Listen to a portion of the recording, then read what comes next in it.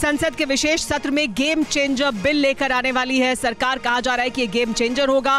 पूरी तरह से भारतीय राजनीति के परिदृश्य को भी बदल देगा, लेकिन साथ ही राजनीतिक ज़मीन पर किस तरह से राजनीति की जाती है, उसे भी बदलेगा। आरक्षण का बिल कल पेश हो सकता है, ये बड़ी जानकारी मिल रही है। ये बिल कल पेश हो सकता है। कल कैबिनेट ने महिला आरक्षण बिल को मंजूरी दी थी। संसद और विधानसभा में महिलाओं को अब मिलेगा तैंतीस आरक्षण।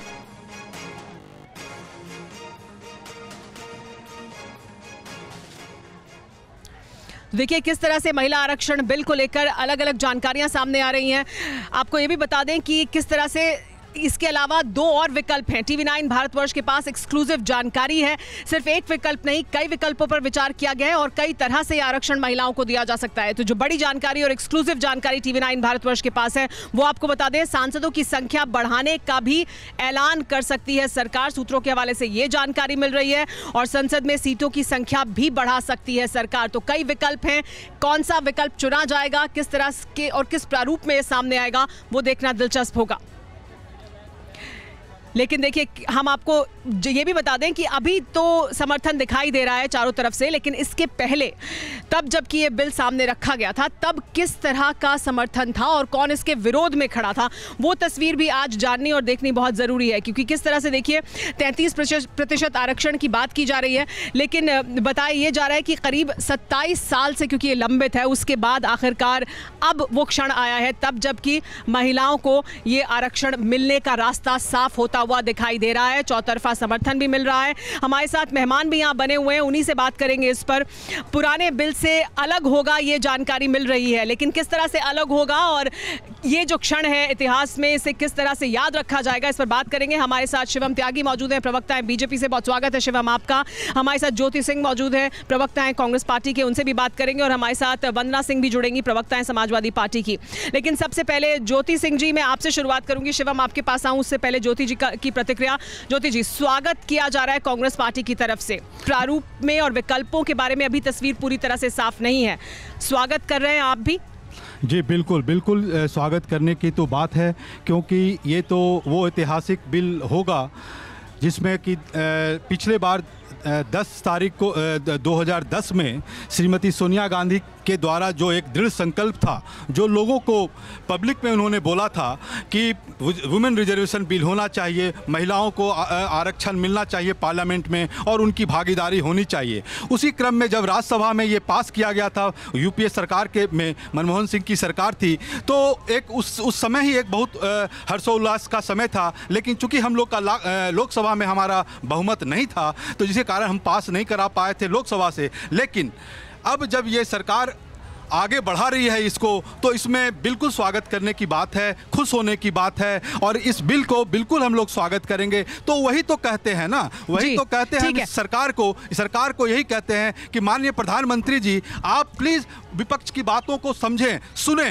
और उसको आगे बढ़ाने का काम करें। तो देश का स्वरूप कुछ और होगा जो आज पुराने पार्लियामेंट से आप नए पार्लियामेंट में जा रहे हैं। तो आज ज़रूर एक नया स्वरूप होता। चलिए आप एक वुमेन रिजर्वेशन बिल जो आप विपक्ष की श्रीमती सोनिया गांधी की बात को मानकर आप आगे बढ़ा रहे हैं तो आज मैं उसको स्वागत करता हूँ। मैं कहता हूँ मैं कहता हूँ कि अगर और भी बातों को मानते तो आप ये तो कह रहे हैं कि कुछ और होता। हमारी बातों को मान रहे हैं सोनिया गांधी जी ने जिस बात को आगे रखा था उसको आगे बढ़ाया है और इसलिए स्वीकार कर रहे हैं और स्वागत कर रहे हैं इसका शिवम।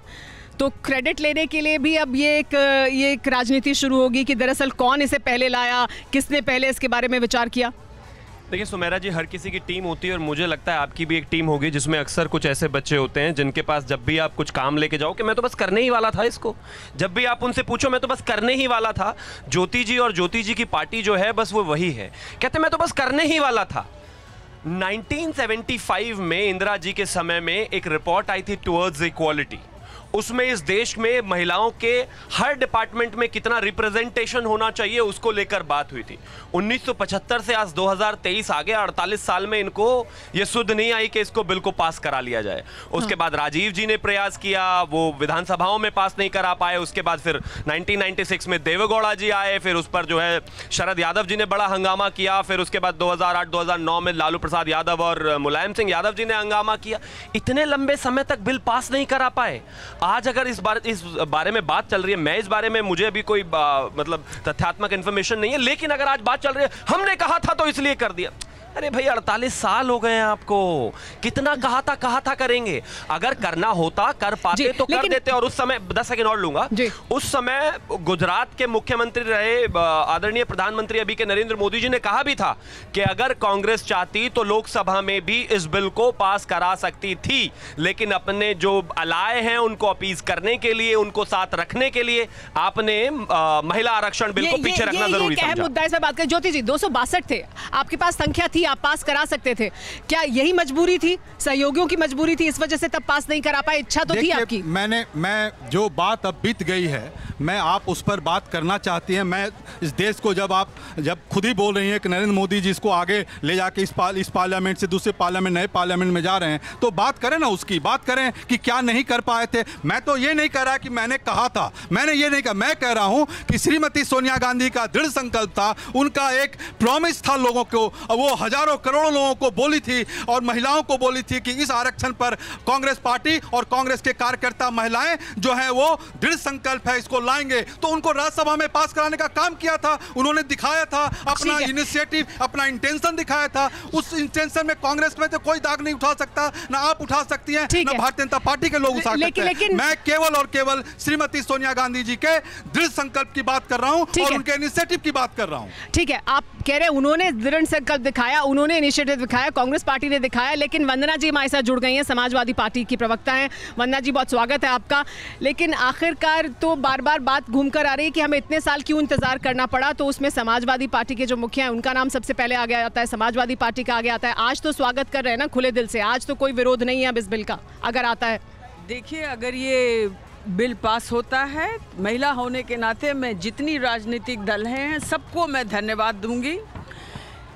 मुलायम सिंह जी ने पहली बार इस बिल पे बात किया था और जब ये राज्यसभा में पास हो गया था, लोकसभा में कई अड़चने आई थी। आज भी लोगों के मन में कुछ संशय है। एक बार जब ये बिल पास हो जाए। दूसरी चीज़ एक और देखें आप, मैं ये जानना चाहती हूँ सिर्फ़, हम महिलाएँ इक्वल हैं तो हमें सिर्फ़ 33 परसेंट तैंतीस परसेंट क्यों दिया जा रहा है? 50 परसेंट क्यों नहीं दे रहे हैं? मोदी जी की पूरी की पूरी जो यहाँ पे है, पूरे उससे हैं। और भाजपा जो है, उसका उसका दायित्व तो बनता है कि महिलाओं को पूरा न्याय दें। मोदी जी कहते हैं बेटी बचाओ बेटी पढ़ाओ महिलाओं को इतना तो देते हैं तो ये कह पचास हैं परसेंट का तो समर्थन नहीं है आप पचास परसेंट का समर्थन करेंगे। मैं तो इतिहास की बात कर रही हूँ जो है पूरे बहुमत में बैठी हुई है तब तो इल्ज़ाम आप पर और आपके जैसे और तमाम दलों पर लग रहा है जो सहयोगी थे कि आप लोगों की वजह से तब नहीं आ पाया था। क्योंकि उस वक्त लोकसभा में पूरी बहुमत में नहीं थी सरकार।